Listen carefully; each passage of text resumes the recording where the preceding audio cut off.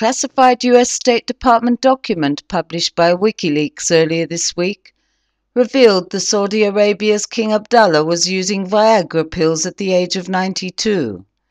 The document was a cable sent from the American Embassy in Riyadh in 2008 and stated the king was apparently 10 years older than previously assumed. The cable was based on information by a Western medical source who was in contact with the Saudi royal family and treated one of his four wives and received the king's medical file by mistake.